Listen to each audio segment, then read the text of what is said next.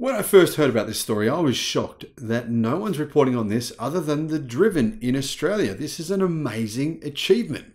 3 megawatt charging completely changes the game when it comes to trucking, commercial, mining, everything you can think of that is big and has a massive battery pack.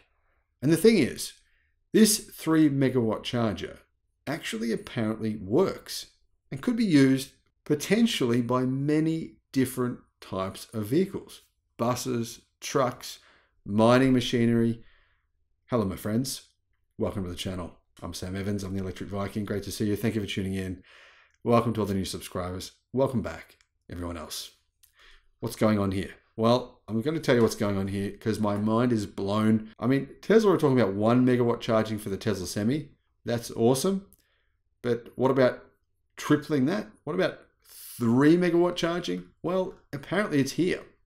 Fortescue has rolled out three megawatt fast chargers as it trials huge electric and hydrogen haul trucks. Now, I should point out that a number of global mining companies have decided within the last month they've trialed hydrogen and electric trucks and they've decided to go with electric trucks or electric machinery. I mean, I don't know if you even call these things trucks, they're so massive, they're enormous. Iron ore and green energy giant Fortescue Metals says it is rolling out its first prototype 3 megawatt fast charger as it continues trials of its first electric heavy haulage truck, dubbed the Road Runner, at one of its giant Pilbara mines.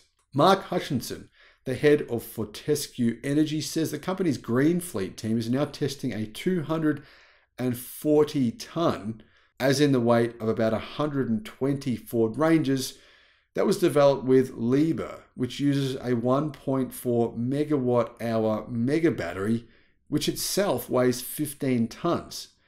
And that has been developed by Fortescue's Williams Advanced Engineering team. So, Williams, of course, had a Formula One team for a long time, many years, racing company, a lot of really advanced technology at Williams. Hutchinson revealed, says thedriven.io that the company is commissioning a prototype 3 megawatt fast charger to recharge their trucks, which is operating at the Christmas Creek mine that is partly powered by a nearby 60 megawatt solar farm. You can imagine if these work as they're expected to, they will be deployed in mines and agriculture and trucking all over the world. This would be an utter game changer. I'm so excited because 3 megawatts. Imagine the charging speed. This is just insane. We're on track to begin testing the fast charger on site this quarter, said Hutchinson to analysts and media. This will help us to understand and develop whole truck duty and charging cycles. To have developed and gotten ready and delivered technology of this scale for on site testing is a huge feat. This is really exciting progress. There's no question he's right here. No hyperbole needed, no marketing here. This is really true. The Driven says that to put the size of these electric trucks, batteries, and fast chargers into perspective, electric passenger cars have weights of 1 to 2 tons. They feature batteries that range from 40 kilowatt hours to 120 kilowatt hours in capacity. But for example, a Tesla Model 3 has about a 60 kilowatt hour size battery. They generally plug into chargers that range from a charging speed of around 40 kilowatts to 350 kilowatt. But it's rare that the EVs that say they'll charge at 350 kilowatt actually do. And when they do, it's only for maybe a couple of minutes at best. Fortescue is also testing the first of its hydrogen fuel cell trucks at the mine, which fits into its massive global plans to sell green hydrogen, become one of the world's biggest producers of green hydrogen, basically like the new Shell, ExxonMobil, but for green products, like a new fossil fuel in a way. But but even they seem to be admitting here that it won't be able to compete with battery electric trucks at mine sites, which are simply a better economic pr- proposition. We are putting both technologies on site this calendar year so we can figure out the round trip efficiency and use those insights to make final decision what our fleet will be in the future, says Christian Haining, the head of decarbonisation. But he's going to have a really tough time convincing Twiggy Forrest, who basically owns Fortescue, that uh, the EV trucks are better than the hydrogen ones.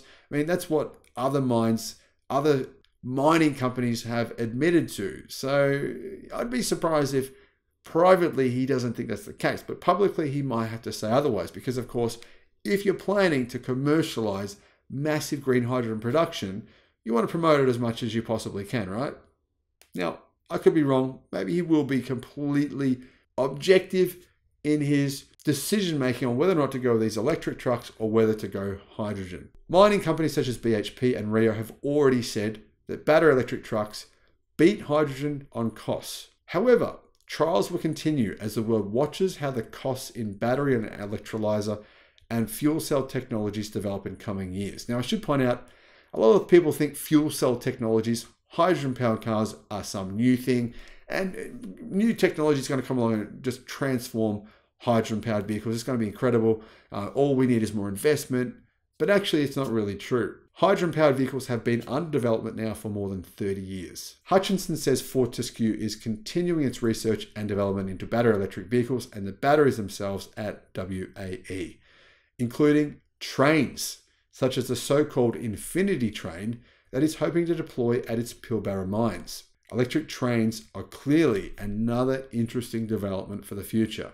The train is based on the idea that a fully laden train going downhill from the mines to the port will simply charge the batteries through regeneration or regen braking enough to take the empty trains back to the mine, meaning it will cost nothing to transport whatever you're mining, whatever you're digging up from the mine all the way to the port and then to send it back.